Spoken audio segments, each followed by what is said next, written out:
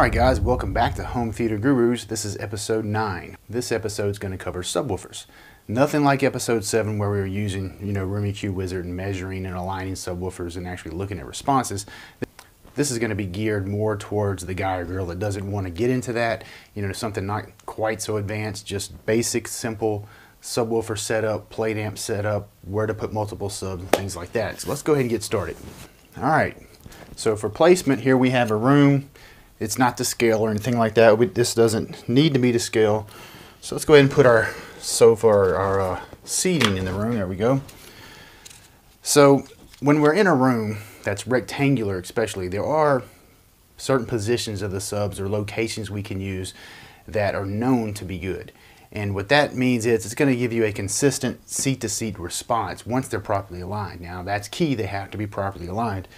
So uh, these are going to be based off the Harman studies and a lot of work and a lot of the things that is used in professional home theater design is based on these studies. You know, the Harman went in and, you know, measured a lot of different room positions and sub subwoofer placements in room and found locations that work well for smoothing, you know, peaks, not really peaks, but really smoothing nulls and getting a seat to seat consistency that, you know, so that everyone in the room, and especially all the seats that matter, they're all hearing the same thing. Now, of course, if you've got, you know, eight seats and two of them are next to a wall or two of them are next to an opening, those seats are not going to sound like the other seats. There's nothing you can do about it. So those seats, sometimes you have to ignore a seat and that's just the way it has to be because if it's next to a, you know, a boundary or an opening, it's just not going to sound like the other seats. It's just not going to happen.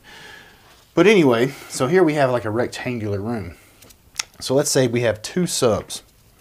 All right, some known good positions are going to be front corners. Now you hear sometimes, you know, corners are bad. Corners are not bad. If your corners replacement, you know, results in it being muddy and slow, which is what we often hear, that's because you didn't finish. Okay, you can't just throw a sub in a room and expect it to perform well. You know, you have to align them first. They have to be aligned. And then what happens in a corner is you, you excite all the room modes. So the bass, you know, like this sub was designed, say, linear. You know, a, a sealed sub will roll off. A you know, a ported sub is going to be basically linear. It could even rise to its tuning response, and then it's going to drop off. So if this sub is tuned to 20 hertz, you stick it in the corner, now from say, depending on how big the room is and where a room gain starts, from 30 hertz on up, I mean, it could just take off and have way too much output. And so that output's gonna sound slow and it's gonna sound muddy and overpowering. Well, what that sub needs is EQ to knock it back down. And once you knock it back down, it's gonna be nice and tight and you're gonna have a ton of headroom. So there's nothing at all wrong with corners. They're actually very, very good and can really help you, especially if you have like sealed subs, you know, where you don't have as much output below 30 hertz, where you're really having to either boost the subs, you know, the levels, you know, using your amplifier and EQ, or you're having to rely on room gain. You know, it can really, really help out in some situations. So anyway, enough about that. So front corners are good. You can also go with opposing front and rear corner. Oh, one other thing. When you have a sub setup like this, you have what's called a virtual sub. And that virtual sub is going to be here in the middle. And it's falling off the wall there. So you have a room mode here, and this virtual sub is going to fix that room mode. That's just something to kind of keep in mind. So when we have opposing front and rear corners, we have a virtual sub right between them. And so again, that same room mode. And then you have another room mode going this way. So it's going to fix two room modes, which is a good thing. We're, we're making the area of good sound larger by manipulating these subs around the room, you know, positioning them where in specific locations. When we put them in specific locations, we're going to make the area larger where we get good sound. Because right now, before you set these subs up, you've got room modes all through this room, like every half, quarter, one-eighth, you know, fraction or spots in these rooms, you know, room modes are cutting through like, like this. And the same thing this way. So when we place these subs, we're actually canceling out some of these room modes. And it gives us more options to find good bass in the room.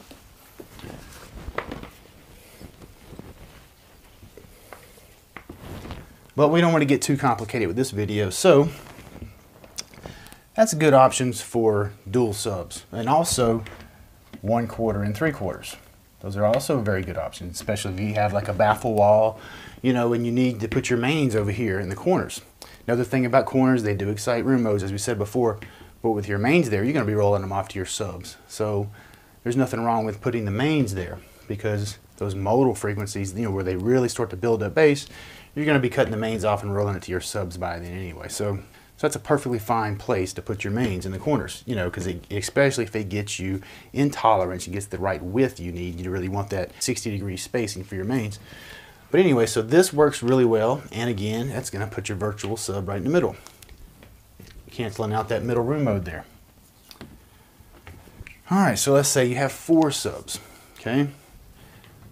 What I have in my room, I have a sub in each corner. And now you've already seen, because you've probably seen episode 7, or if you haven't, you might want to go back and watch it. You see what's possible with four subs in a room. And you see how consistent my seat to seat consistency is. I mean, here it is right here.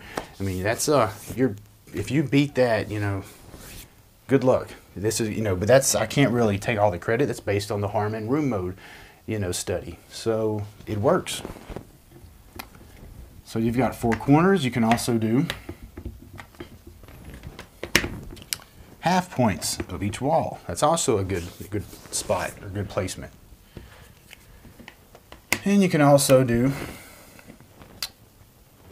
one quarter and three quarters on front and back wall. Okay, now that's going to be, you know, like a rectangular room. So you have a bedroom or a dedicated room, something that's, you know, doesn't have a lot of openings. You know, maybe one or two openings is fine, but it's something that's not really open to another room that's uh, not irregular shaped. You can use these locations as a really good starting point to lay out your room and lay out your subs. And I mean, if you've got like a dedicated room and I mean, there's it's really, really symmetrical or a bedroom that you're converting that's really symmetrical, these are to work. I mean, it's you don't really have to, uh, there's no guesswork involved. Like you, you, in my room, episode seven, you know, my room is really symmetrical. I designed it that way. I placed my seats where they needed to be it was just it was too easy you know? It, it is too easy whenever everything is set up right and you're following you know the guidelines of you know things like the Harman study and known placement options. So it makes it really easy and takes the guesswork out. Now one thing on placement. Whenever you know people use the crawl method. The crawl method is really a very very poor method. And the reason is if you're sitting on the couch right here Okay, you've already seen in episode 7 how much the response varies seat to seat. And so say you're, you've got your sub right here and you're crawling around right here and you find a really good spot where the bass sounds good. Right here, it sounds great because you're listening to music. Well, that that's going to be some bass heavy music. Say it's hitting at 30 hertz. 30 hertz sounds great, okay? The only problem is when you put the sub there, this person right here is going to have a completely different response the 30 hertz is not going to sound like it did sitting right here. And this guy, completely different. The response is going to change all over the place. So the crawl method is basically, again, another way for sub companies to, you know, it's, they don't have a lot of choice. They've got to give you some method, and that's just what they give you. It's just heavily flawed. And they can kind of put it on the user, you know, end user. Some of them probably do tell you, you know, if it's a rectangular room, they give you some kind of idea of known good placements. But subcrawl method is very, very flawed. And another thing when you have dual subs is, let's say you're listening to some bass heavy music and it's peaking at 30 hertz. So you crawl around on the ground and you find a response that it's got a good peak at 30 hertz. But let's say there's a there's a dip or a null at 50 hertz and you don't even realize it because you're not listening to 50 hertz or it's not really kicking at 50 hertz you know or anywhere you know, it could be 60 hertz, 70 hertz, but there could be a major issue in the response that you don't know about.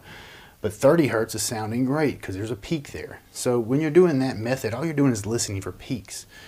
That's really all you can do. So you can crawl all around the floor and you're going to find a couple different spots that the peaks sound good. But especially with dual subs, you know, with one sub, there's one response to worry about. With dual subs, you don't you're not looking for a flat response.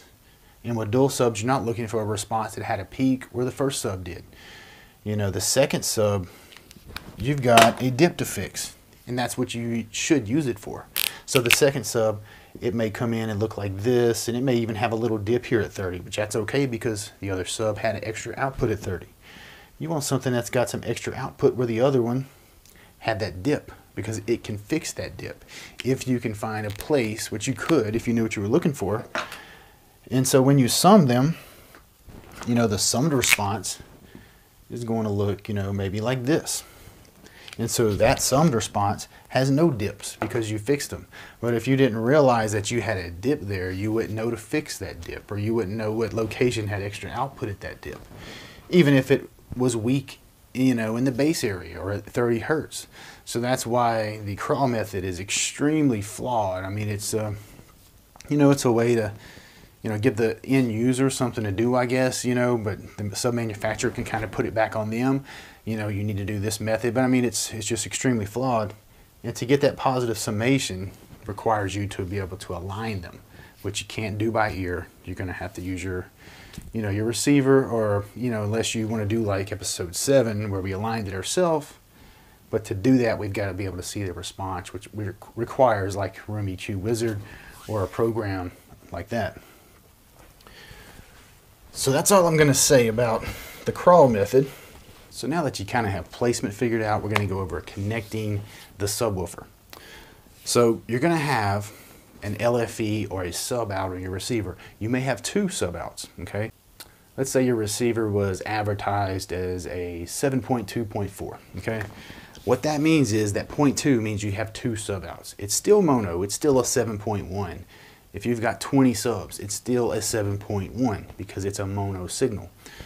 So the 0.2 just means there's two outputs on the receiver. Now hopefully those outputs are independent of each other and you can actually set delay between them and that would actually be like a real 0.2 capable receiver where it, you know, that just means it has independent you know, control of each of those outputs. Now sometimes the receivers will go cheap and they're just trying to, you know, boost up their specs to compete with other, you know, receivers that are better than they, you know, their receiver. And the point two doesn't mean anything. Like they're just fused together back there, basically a Y adapter that's built in. And the way you can tell is when you run your room correction. When it runs the first measurement, it's getting distances. If it pings each sub independently during the first measurement, then you know it's got two different, you know, sub outs, independent sub outs, and it's going to be able to align those two subs, those two outputs. If you run it and it doesn't, and it pings both subs together during the first one, well, you know, you're not going to say you got screwed, but you got taken, sort of, because it doesn't have independent control between the two sub outs. It's just fused together inside the receiver. Now after that, it's only it's going to ping them together because all the measurements after that first measurement, all it's doing is doing like a, a, spatial EQ. It's sampling the area, the bubble around the main listening position for EQ. And that's that's all it's doing. So after the after the two, three, all those other measurements after one, it's going to be sweeping and pinging the subs together. So it's that first measurement that's going to key you in on whether or not you really have a 0.2 receiver with independent control of each sub.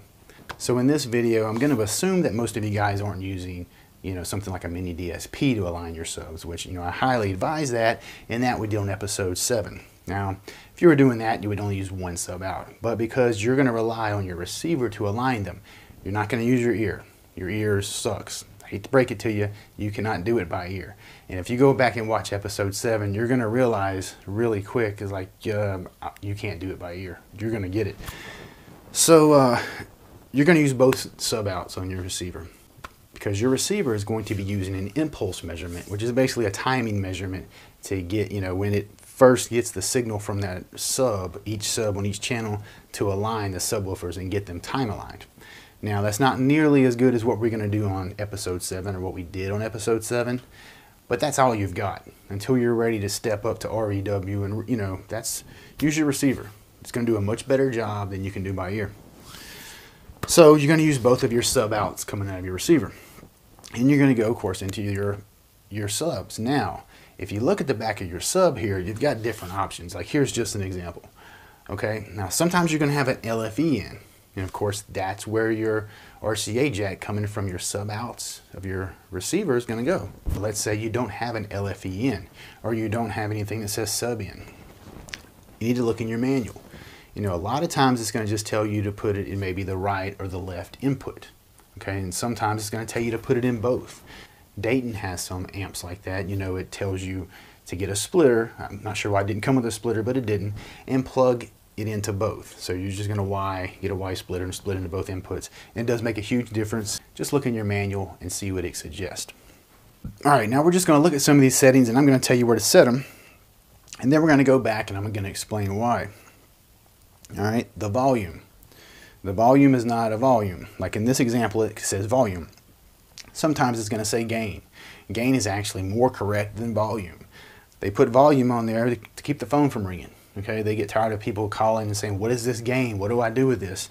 You know, it confuses people. Well, volume confuses people too. Really, it's very inaccurate. It is not a volume. So for that, I would just set it at half, 50%. And that way, once you calibrate your system, you always know that, you know, if somebody bumps it, you always know that that is your default setting.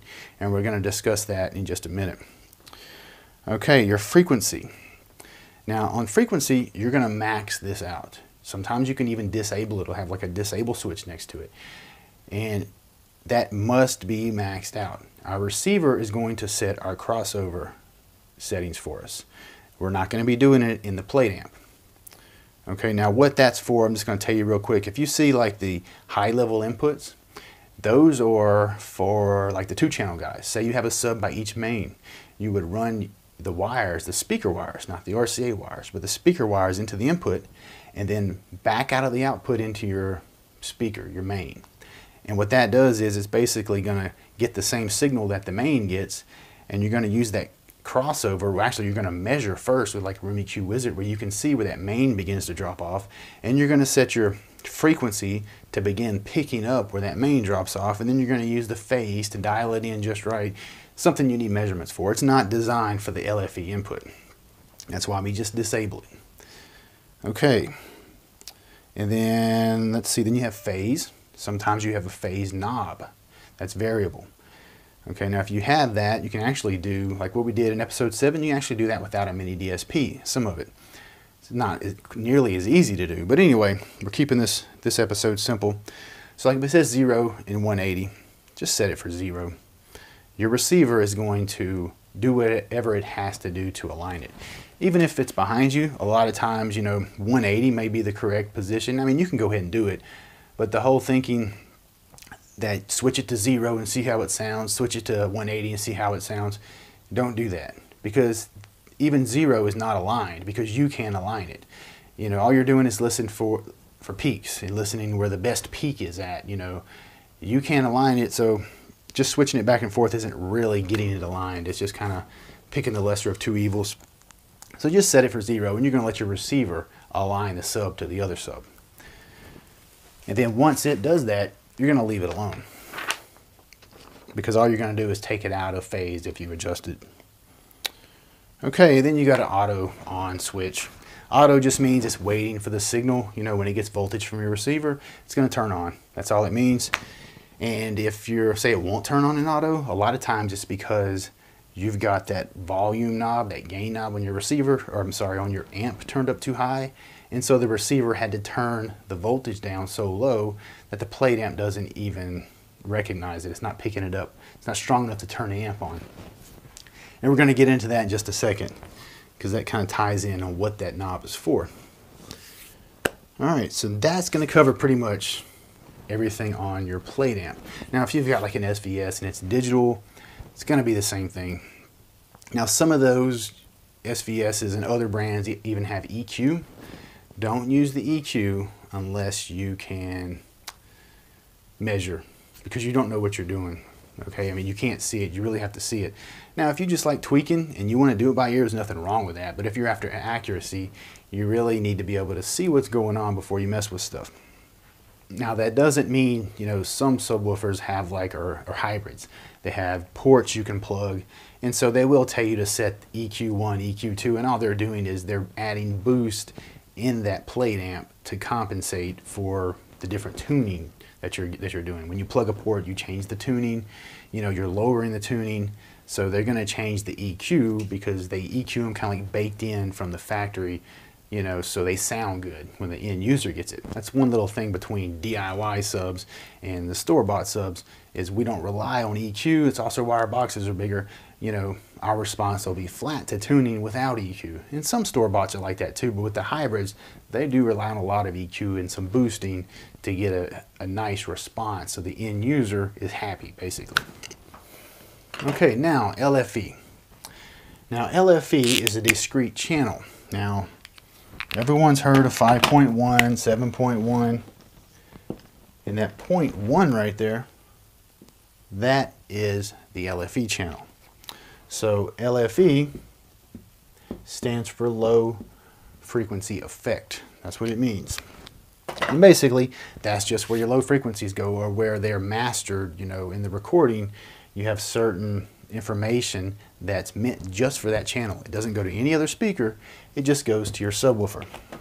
And so that's why you're going to have the LFE out or the sub out, and it's going to go straight to your sub. And it's like I said, it's discrete, just like the front left is discrete. So, and the frequency response or the frequency bandwidth that could be on that channel is anywhere, you know, it could be down low and under 10 hertz, which is very rare. I mean, really, if you've got an in-room negative that goes down to negative 15 and not, not uh, some people just say out, usable output, which is basically a useless term. It means nothing. Just because you hear a noise down there doesn't mean it's usable. You want like some, it needs to be as loud as the rest of the response. So negative three is usually what is the standard. So if you got an in-room negative three of 15 hertz, that's pretty awesome. You're good to go even an in-room negative 3 of 20 hertz is great. Negative 15, I wouldn't, I wouldn't worry about going lower. You're good. So eh, let's just say 15 hertz to 120 hertz. 120 hertz is the top of the LFE channel. And of course it could be below 15. So that's the LFE channel. Now bass management is when you have a speaker and you set it to small. And basically, small means bass management on. Doesn't mean anything bad about your speakers. And all that's going to do is it's going to route the information below the crossover you set to the sub. And it's going to use the LFE channel as like a highway to get there because it needs to find a route to get to your sub. And there's one sitting right there called the LFE channel. So it's different than the LFE. It just uses the same route to get to your sub. Now, why would you use LFE or why would you use a crossover and set your speaker to small if you have large speakers? Well, we saw in episode 7 what happens when you have one source of modal or one source of bass. You know, your seat to seat consistency goes out the window. Okay, every seat sounds different. So if you've got a choice of letting your main, your left main play 60 hertz, you know, you're gonna if you choose that, as your decision, you're going to have a different response at every seat. Everyone's going to hear something different. And you saw what happened. I mean, here's what happens if you properly align your subs. Every seat hears the same thing. I mean, I've got it there basically hearing the same thing up to 100, 120 hertz. So you're choosing quality when you set your speaker to small, assuming your subs are properly set up. You know, if you say that, you know, 60 hertz crossover sounds better or 40 hertz crossover sounds better, it's because your subs are jacked up. That's just the way it is. Something's wrong with your subs, or your, your, your subs are not aligned to your mains. Something's screwed up in your setup somewhere. So that would be why you would set your speakers to small. And in you know uh, professionally designed rooms, they're set to small because we want consistent seat-to-seat bass. And so you're basically as soon as that bass is not directional, they're going to the sub. They're going to cross over and get to that sub ASAP because that sub is going to be several sources of bass that are all aligned and are going to give us that seed to seed consistency that we want. So that's going to be bass management. So it's any speaker set to small. You can set the crossover point. Usually 80 hertz is chosen just because that's where most you know kind of feel that bass is no longer directional. Now if you've got your subs up front, you know, you can cross it over at 100 hertz. I mean, it's really going to be hard to tell what sub it's coming out of, you know, when they're all up front or even behind you at sometimes. I mean, that's something you can play with the crossover point and see if maybe you can get it to 100 and you still can't tell. If so, you know, chances are you're going to have even a better seat to seat consistency, you know, up to 100 hertz than you would at 80 hertz because more of the content is being handled by the multiple subs. So that's probably it's getting a little too advanced there. So we're gonna kind of leave it at that. So another thing to remember that LFE has a filter setting in the in the receiver, okay, or your processor. It needs to be set no lower than 120 hertz because remember LFE is 15 to 120 hertz. If you set the LFE low pass filter, and that's what it's called, it LPF or it may say low pass filter. If you set it to 80 hertz, you're gonna get across, you're gonna set a filter in there in this LFE channel and you're gonna cut it short, you know. If you set it for 80, you're gonna lose a lot of output that should be there because it's encoded in that channel, but you can't hear it. And that's also why on your plate amp, I told you to max it out. You do not want that plate amp crossover and the plate amp is the amp on your sub to affect this at all. We want it to al allow our receiver to decide what goes to the sub. So another reason is if you set that at 80, not only do you affect the LFE channel and cut it off too, the way a crossover works, let's say here's your sub, and here is your main. Let's see. So there's your sub, there's your main, and this is an 80 hertz crossover right here. Okay, so what happens is when you set your receiver to 80 hertz, like for your when you set a speaker to small and you're crossing that content from a speaker to a sub, it's going to set the crossover at whatever point we set it for 80. So it's going to roll the sub off and it's going to roll that main off or that speaker off so that they intersect at 80 and the result is going to be a positive or a nice smooth response ac right across that point there. It's not going to be a dip or anything. It's going to be nice and smooth across it. So if you were to set your plate amp or your your subs amp at 80 hertz as well and set an 80 hertz crossover in the receiver, now you have two crossovers set on the sub. So now it's going to fall like this. And your response, your receiver is going to, uh, when it crosses it over, you know, it's going to have a dip. You're going to have weak bass at that crossover point because you have two crossovers set two slopes being you know being engaged on the subwoofer and you're pulling it down too much and it can't get a nice transition from main or speaker to subwoofer. So that's all the more reason max out that crossover setting on your plate amp.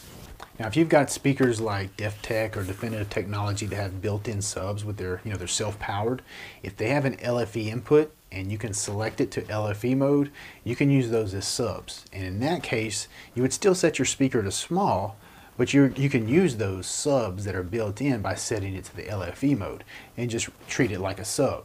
You'll just run the RCA right into it, just like another sub, and you'll actually have to calibrate it along with the subs, either through the auto setup or manually, however you're doing it. All right, let's talk about the volume or the gain knob that's on the plate amp. That is not a volume. Okay, I know they say that, but that's just to keep them from the phone from ringing. And it's not really a gain, even though they call it that. It's actually an input attenuator. And what that does is it adds attenuation to the input signal coming from the receiver. And that allows the receiver to adjust its output voltage, okay, because it needs to find a happy place for the output voltage. And it needs, you know, it doesn't want to clip the signal but it, you know, it needs to be strong enough to give you a good signal. You know, if you take the plate amp cross or the plate amp gain knob, turn it all the way up, all you're going to do is force the receiver to have to turn its voltage down because it's going to try to calibrate during auto calibration or auto setup, it's going to try to calibrate everything for reference. So no matter where you put that volume knob or that gain knob, the receiver is just going to compensate for it by adjusting its voltage to get the right output at the subwoofer or what it measures from all the subs in the room. So it is, does not mean your sub is more powerful because say you run Audyssey and it tells you to turn it down. Doesn't mean that.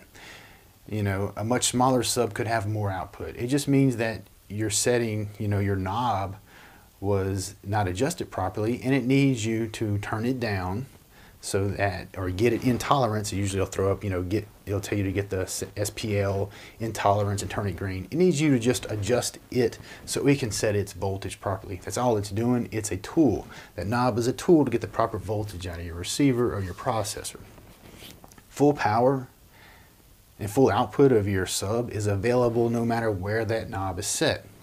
That knob has nothing to do with volume. Now yes, once it's set up you can go over there and turn it and it'll get louder if you turn it right or turn it clockwise. And that's just because you're reducing attenuation, removing attenuation from the input signal. That's all you're doing. You could do the same thing by just adjusting, increasing the voltage in the receiver by turning the sub trim up.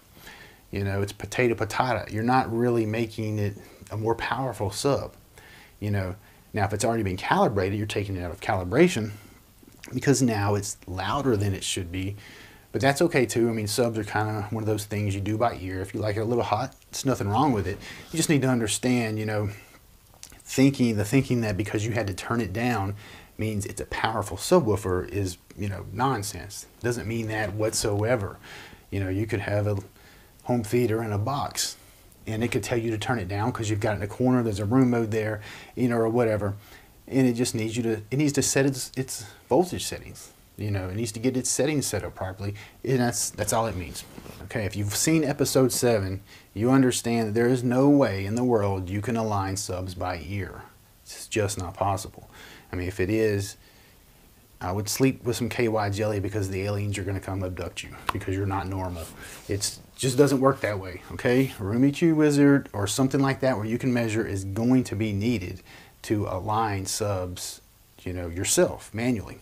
And that's the way I prefer to do it. But if you not if you're not ready for that, it's totally fine. Use your receiver. It's going to send out an impulse, and that's what it's going to use is those impulse measurements to align the subs, to time align them. So just let your gear do its job. It's much, much more accurate than you're going to be by ear. And if something doesn't sound right, you know, try running it again. Sometimes it gets it wrong, but the point is you're helpless by ear. You can't beat measurements. I mean, it's just that you can't. If you don't believe me, go watch episode 7. Okay, so now just a little rundown. On your plate amp, we're going to set the frequency all the way up. We're going to disable it, okay, max it out the volume, the gain, maybe set it for 50%, set it in a place where you can always go back if someone bumps it, you can go back and set it where it needs to be because you know that's your default setting. And remember that has nothing to do with output, doesn't take away from your output, full power, full output is available no matter where that's set. And we're going to go into the LFE input if it doesn't have an LFE LFEN stamped on it, we're going to look in our manual to see exactly where we need to put our input. It could be on the right, the left, or we could be told to get a splitter and use both. Phase, set it for zero. Let our receiver do the work, okay? Especially after our receiver does our auto setup, don't go adjusting things.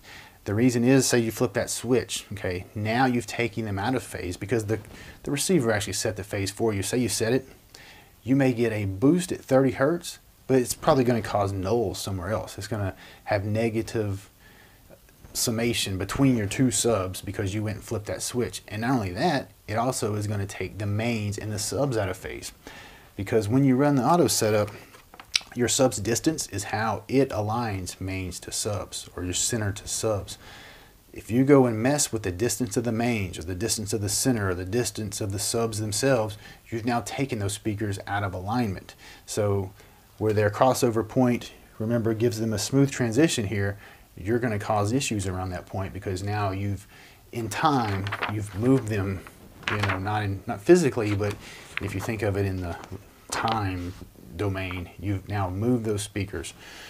So don't jack with your settings in your receiver for distances, especially the sub. The sub, not is, the sub is not going to have the right distance. It's not supposed to. It's a time alignment, not a distance alignment. Okay, I think that's it on the back of the plate amps. In your receiver, low pass filter. It needs to be set at 120 or higher. You can set it for 200, it doesn't really matter because the LFE only goes up to 120 anyway. It's kind of a goofy setting, really shouldn't be there. Don't go any lower. Once you get your speaker set up, once the receiver aligns your subwoofers, especially if you have multiple subs, if you have one sub, I wouldn't worry about it too much because your seat to seat consistency is not going to be great anyway. But if you've got dual subs, they're properly set up, hopefully you have a good seat to seat response. If that's true, keep that crossover setting, set all of your speakers to small, keep the crossover setting at 80 hertz and don't go any lower. If you can bump it up to 100, and you don't have any audible, you know, you can't tell where the subs are located, keep it at 100. There's nothing wrong with that because you're not after bragging rights, you know, that I've got, you know, 13 foot towers and, you know, they go down to negative five hertz. Nobody cares. Okay, we're after a consistent seat to seat response and quality. We're not after bragging. A lot of people don't understand how this stuff works. So they don't want to set their speaker to small because, you know, it's like it hurts their you know, you know, it hurts somewhere in there. You know, they feel a pain when they set that speaker they spent all this money on the small. Well, if you're after quality sound, you know, that's just what you're going to have to do. So set the speakers to small, set the crossovers at 80, maybe a little higher if you can, because we want a consistent seat-to-seat -seat response. This is home theater. This is not two-channel listening where we're just one person sitting in a room. So we have to think differently than like a two-channel guy that's only worried about one seat sounding right. We want all the seats to sound good.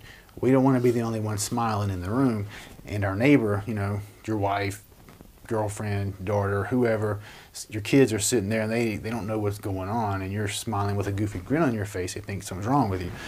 So we don't want that. Now, a lot of your receivers have something called like LFE plus mains or double bass. And what that's going to do is, let's say you set an 80 hertz crossover for your mains and you've got that engaged and something at 60 hertz happens on the screen. Your main is going to get treated like a full range speaker, so it's still going to play everything, but it's going to cross over to the sub at 80 hertz as if it was set to small. So it's going to be playing out of both at the same time. Well, whenever we align our subs, we're aligning the subs by themselves. So you see here my response seat to seat everybody's hearing the same thing. As soon as I throw another source of sound in there, like that main, if it was also playing a 60 hertz tone, that seat to seat right there goes out the window. Okay? It, I mean, now there's another speaker in there that is not aligned to all these other speakers, to my subs. So I basically, you know, thrown a wrench in it. Okay? So that's not really going to be good either. Now, sometimes people are like, oh, it sounds better. Well, the problem is when LFE hits, when there's something on the LFE channel, if you've got four subs, okay, that's four subs playing that are perfectly aligned, seat to seat is perfect. Now something happens at 60 hertz on that main. Now you've got five sources of bass, my four subs and that main. So now that, but one of those speakers is not aligned to those subs. So now my seat to seat is not good. So it goes back and forth to a good response, bad response. Okay, now here's a really good example of the LFE channel by itself and what happens when you set it to LFE plus mains or double bass. So you see the blue line, that's the LFE channel. It's already been aligned. There's, that's four subs. They've already been aligned. We have a really tight C to C consistency. So anytime, like if we set a speaker to small and roll it off to the subs, anything below our crossover point that we choose is going to get what we have at the blue line. So we know what we're getting and we're getting really, really accurate bass. So if we were to select LFE plus main and something was to happen on just the LFE channel, we would still get the blue line. But now when something happens on the mains, or either one of the mains, because we've selected LFE plus main, we'll get the red line. Because now that main is being thrown in and playing along with the subs. And so now it's unpredictable and you see what we have. Now all of a sudden we have a response that's in no way accurate because there's another speaker that's playing with our main our uh, subs you know our subs that we spent all that time getting them calibrated and getting them set up right now we're just slinging a wrench into them and this is what we get and now keep in mind that my mains they're htm 12s they only they're tuned for like 7 60 70 hertz or they don't go that low so that's why around you know 50 hertz it starts picking back up and you know, because it's really just the, the LFE or just the subs playing. If you had some mains that went lower, that nasty response would go much lower than what you see here. It would look even worse because it would be affecting more the, of the LFE or more of the subs than what you see here.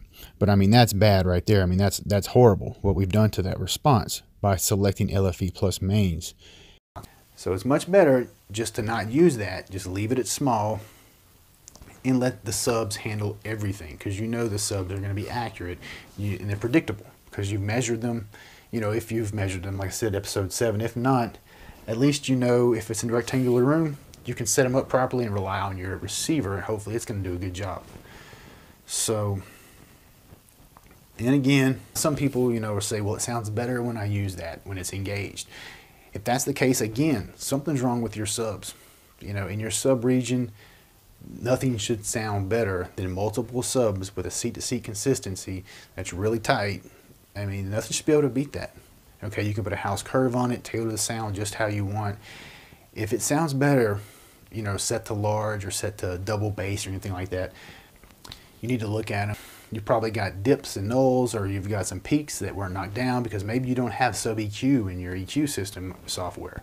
You know, you need to make sure that your processor is able to EQ the subs. That's really important too for knocking down those, you know, those excessive bass that you may have by putting your speaker even next to a wall can ex- excite room modes and makes it kind of bass heavy. You know, you need EQ in the modal region, the bass region.